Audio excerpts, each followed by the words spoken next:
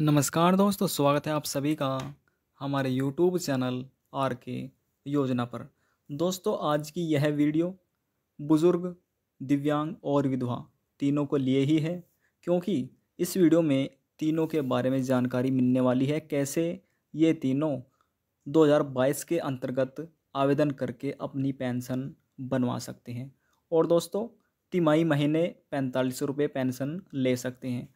ऐसे आप ऑनलाइन आवेदन कर सकते हैं। नियम, पात्रता, दस्तावेज़। दोस्तों, इस वीडियो में हम आपको यहाँ पर यह बताने वाले हैं कैसे आप ऑनलाइन आवेदन करके अपनी पेंशन का लाभ ले सकते हैं, अपनी पेंशन बनवा सकते हैं। दोस्तों, इसके लिए सबसे पहले आपको गूगल क्रोम ब्राउज़र पर जाना होगा। अपने फ़ोन में ओपन कर लेना है। आपको दिखाने के लिए, समझाने के लिए हम भी अपने फ़ोन में गूगल क्रोम ब्राउज़र ओपन कर लेते हैं। दोस्तों, आप देख सकते हैं हमने अपने फ़ोन में गूगल क्रोम ब्राउज़र ओपन कर लिया है। अब दोस्तों, वीडियो को आगे बढ़ाने से पहले हमारा आपसे एक छोटा सा निवेदन है। यदि आपने अभी तक वीडियो को लाइक नहीं किया है तो दोस्तों, वीडियो को लाइक ज़रूर कर दीजिएगा, क्योंकि आपके एक लाइक से हमें बहुत ज़्यादा मोटिवेट मिलता है, जिससे हम प्रेरित होते हैं आपके लिए नई नई जानकारी लाने के लिए। दोस्तों, यदि आप चैनल पर पहली बार आए हैं तो चैनल को भी सब्सक्राइब कर लीजिएगा। साथ ही दोस्तों, बेल आइकन के बटन को प्रेस करना ना भूलें, क्योंकि जो हमारी वीडियो का नोटिफिकेशन है, वह सबसे पहले आपको प्राप्त हो और आप सबसे पहले ही उसका लाभ उठा सकें। चलिए दोस्तों, अब हम यहाँ पर वीडियो को आगे बढ़ा लेते हैं। दोस्तों, यहाँ पर आ जाने के बाद आपको सर्च कर देना है। सर्च क्या करना है? यहाँ वह भी हम आपको बताते हैं। यहाँ पर आपको लिखना है S S T Y. S S P Y दोस्तों, उसके बाद आपको स्लैश लगाकर U P dot G O V dot in ये आपको डाल देना। जैसे आप यहाँ पर देख रहे हैं गूगल क्रोम ब्राउज़र ने ऑटोमेटिक ही सर्चिंग लिस्ट में इसको यहाँ पर ला दिया है। ये आप यहाँ पर दोस्तों देख सकते हैं। जब आपका भी ऐसे सर्चिंग लिस्ट में आ जाता है, अगर नहीं आता तो आप एज इट इज़ ही पूरा लिंक यहाँ पर लिख लीजिएगा। उसके बाद आपको सर्च कर देना है। जैसे ही आप सर्च करेंगे दोस्तों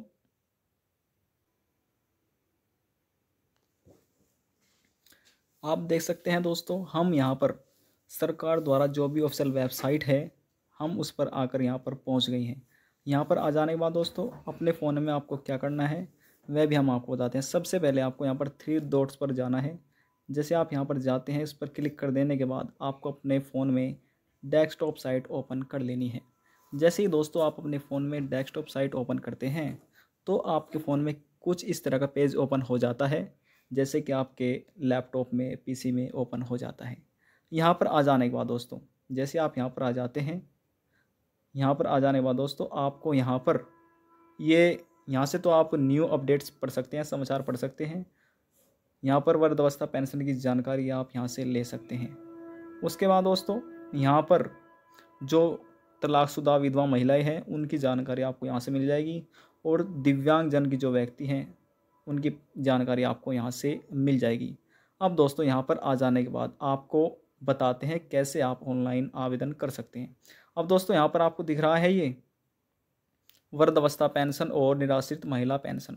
यहाँ पर दोस्तों आप ये पढ़ सकते हैं, एकीकृत सामाजिक पेंशन पोर्टल पर हम हैं इस टाइम, जहाँ से आप आवेदन कर सकते हैं। उसके बाद दोस्तों हम यहाँ पर किसी एक पेंशन के बारे में आपको बताते हैं, उसी प्रकार से ही आप अपने पेंशन के हिसाब से जो भी आपको पेंशन बनवानी है, विकलांग पेंशन बनवानी है वर्धवस्था पेंशन बनवानी है, विधवा या तलाकशुदा पेंशन बनवानी है तो आप यहाँ से ही बनवा सकते हैं। अब दोस्तों, जैसे कि यहाँ पर ये दिख रहा है आपको आपको यहाँ पर क्लिक कर देना है। यहाँ पर एक ऑप्शन आपको दिखाई देगा, अधिक जान, अधिक पढ़े, यहाँ पर आपको क्लिक कर देना है। जैसे आप इस पर क्लिक करेंगे दोस्तों तो आपके सामने कुछ अगला पेज इस तरह से ओपन हो जाता है। जैसे कि दोस्तों हम यहाँ पर क्लिक कर देते हैं, अधिक जाने पर पर हमने क्लिक कर दिया है। अब थोड़ा इंतज़ार हमें करना पड़ेगा क्योंकि यहाँ पर हमारे नेटवर्क थोड़ा स्लो है। आप देख सकते हैं दोस्तों, हमारे सामने अगला पेज ओपन हो चुका है। अब दोस्तों यहाँ पर हम आपको वृद्धावस्था पेंशन योजना के अंतर्गत कैसे आवेदन कर सकते हैं, ये एग्ज़ाम्पल हम आपको बता रहे हैं।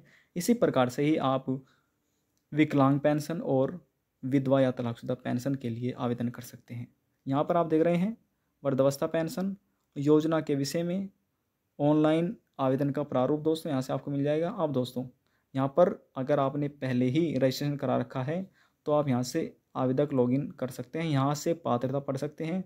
उसके बाद ऑनलाइन आवेदन करें। आपको इस पर क्लिक कर देना है, ऑनलाइन आवेदन करें। चलिए दोस्तों, हम इस पर क्लिक कर देते हैं। जैसे ही आप क्लिक करवाएँगे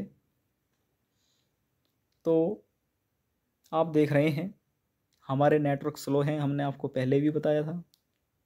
और आप देख सकते हैं कि अगला पेज हमारे फ़ोन में ओपन होने जा रहा है, कुछ इस प्रकार से हैं। दोस्तों एज इट इज़ आपको ऐसे ही, जैसे हम आपको लेकर आए हैं गूगल से हमने सर्च किया है वेबसाइट का हमने लिंक जैसे डाला है, आपको इसी प्रकार से डाल देना है। और डाल देने के बाद जैसे आप सर्च करेंगे तो आप डायरेक्ट ही जो पेंशन पोर्टल है, आप उस पर पहुँच जाएँगे। यहाँ पर आ जाने के बाद दोस्तों, आप देख रहे हैं, यहाँ से आप डायरेक्ट ही आवेदन कर सकते हैं। आवेदन करने से पहले, सबसे पहले आपको यहाँ पर अपना रजिस्ट्रेशन कराना होगा। रजिस्ट्रेशन कराने के लिए आप यहाँ पर ये ऑनलाइन देख रहे हैं दोस्तों। यहाँ पर सबसे पहले आपको अपना जनपद सेलेक्ट कर लेना है। फिर आप अगर गाँव से हैं या शहर से हैं, वह आपको क्लिक कर लेना है। उसके बाद जो आपकी तहसील है, यहाँ पर वह आपको दर्ज कर देनी है। फिर उसके बाद जो आवेदन करता है, उनको यहाँ पर अपना नाम डाल देना है। फिर उस बाद, दोस्तों, मेल है, फीमेल है, यहाँ पर आपको डाल देना है। फिर उसके बाद जन्म तिथि आपको अपनी यहाँ पर भर देनी है। दोस्तों, पिता का नाम, कौन सी श्रेणी आप में आप आप आते हैं यहाँ पर? देख रहे हैं, general, minority, OBC S T यहाँ पर आप देख रहे हैं। तीनों चारों यहाँ पर आपको कैटेगरी दिख जाएगी। उसके बाद यहाँ पर आप ये देख सकते हैं पूरा एड्रेस। आपको जो भी आपका प्रेजेंटली पता है परमानेंट वे आपको यहाँ पर डाल देना है। उसके बाद दोस्तों बैंक विवरण क्या है? उसकी जानकारी आपको यहाँ पर देनी है। फिर आपका आता है आय। यहाँ पर आय का विवरण यानी कि जो आपकी आय है, यहाँ पर वो आपको डाल देनी है। जो आपके पास आय प्रमाण पत्र है, उसी एज इट इज़ वही आपको यहाँ पर डाल देनी है। फिर यहाँ पर देख सकते हैं दस्तावेज़ अपलोड करें। सभी दस्तावेज़ आपको अपलोड करने हैं। अपलोड कैसे करने हैं उसके बारे में बताया गया है। अपलोड रंगीन पासपोर्ट के आकार की फ़ोटो आपके पास होनी चाहिए। यहाँ पर जो आपकी जन्मतिथि है, आयु प्रमाण पत्र यहाँ पर आपको अपना अपलोड कर देना है। उसके बाद दोस्तों यहाँ पर देख रहे हैं, मैं घोषणा करती हूँ या उसके बाद करता हूँ या करती हूँ कि मैं केंद्र एवं राज्य सरकार से किसी अन्य योजना के तहत पेंशन संबंधी आर्थिक लाभ प्राप्त नहीं कर रही हूँ या कर रहा हूँ। मेरे द्वारा दी गई उपयुक्त समस्त जानकारियाँ पूर्णतः सत्य हैं, तथा किसी भी स्तर पर असत्य पाई जाने पर समस्त भुगतनित धनराशि भू राजस्व के वाक्य में भांति वसूल कर लिए जाने का मुख्य आपत्ति नहीं होगी। अब दोस्तों, उसके बाद यहाँ जैसे आप एच डी टिक कर देते हैं, इस प्रकार से ही आप क्लिक करेंगे तो यहाँ पर क्लिक हो जाएगा। जैसे हम आप देख रहे हैं उसके बाद दोस्तों, जो यहाँ पर एक कैप्चा कोड है, आपको दर्ज कर देना है और सबमिट के सबमिट के बटन पर क्लिक कर देना है। जैसे सबमिट के बटन पर क्लिक करेंगे तो आपका यहाँ पर जो रजिस्ट्रेशन है, वह कंप्लीट हो जाए दोस्तों, ये तो आपको पता चल ही गया है कि आवेदन आप कैसे कर सकते हैं। लेकिन आवेदन करते समय किन दस्तावेजों की आवश्यकता पड़ने वाली है, यह भी जानना बहुत ही ज़रूरी है। चलिए दोस्तों, अब हम आपको बताते हैं, जब आप आवेदन करेंगे तो आपको किन दस्तावेजों की आवश्यकता पड़ने वाली है, इसके बारे में भी आपको बताते चलते हैं। दोस्तों, सबसे पहले आपको बताते हैं यूपी पेंशन योजना के अंतर्गत महत्वपूर्ण दस्तावेजों के बारे में, जो कि सबसे पहले वर्धावस्था पेंशन योजना के बारे में यहाँ पर आप देख रहे हैं वर्धावस्था पेंशन में जन्म प्रमाण पत्र, पहचान पत्र, जैसे कि आपका वोटर आईडी कार्ड, आपका आधार कार्ड, राशन कार्ड और दोस्तों, आपके पास बैंक की पासबुक होनी चाहिए, जिसके अंतर्गत दोस्तों, सरकार द्वारा जो भी पैसा भेजा जाता है पेंशन का वह सीधे आपके बैंक खाते में ट्रांसफ़र किया जाता है। फिर दोस्तों आपका आय प्रमाण पत्र भी इसमें मांगा गया है। अब बात करते हैं विधवा पेंशन योजना के अंतर्गत महत्वपूर्ण दस्तावेजों के बारे में।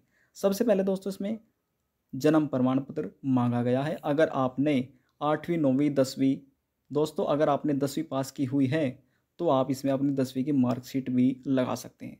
अब दोस्तों इसमें ये दे सकते हैं, पहचान पत्र के तौर पर जैसे कि आपका voter ID card, Aadhaar card ration card और बैंक की पासबुक भी इसमें मांगी गई है। यहाँ पर दोस्तों, आय प्रमाण पत्र भी आपका मांगा है।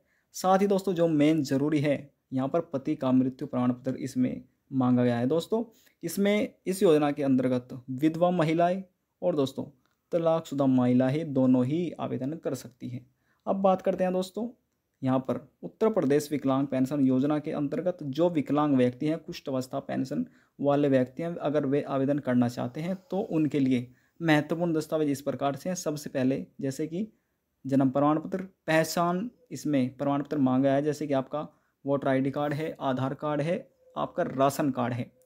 इसमें बैंक की पासबुक मांगी गई है, आय प्रमाण पत्र मांगा है, और दोस्तों, इसमें आपका विकलांगता प्रमाण पत्र मांगा गया है। विकलांग व्यक्ति और कुष्ठ अवस्था वाले व्यक्ति दोनों ही इस योजना के लाभ ले सकते हैं, आवेदन कर सकते हैं। सरकार द्वारा पेंशन योजना के अंतर्गत यह थी आपके लिए महत्वपूर्ण जानकारी। यदि जानकारी को लेकर आपके मन में कोई भी सवाल है, कोई भी डाउट है तो आप नीचे कमेंट बॉक्स में जाकर हमसे पूछ सकते हैं। आपके सभी सवालों का जवाब दिया जाएगा। लास्ट में निवेदन ये करेंगे, चैनल को सब्सक्राइब और साथ ही बेल आइकन के बटन को प्रेस करना ना भूलें, ताकि जो हमारे वीडियो का नोटिफिकेशन है सबसे पहले आपको प्राप्त हो और आप सबसे पहले ही उसका लाभ उठा सके। हम आपसे मिलते हैं नेक्स्ट वीडियो में एक और नई जानकारी के साथ। जब तक के लिए जय हिंद, जय भारत।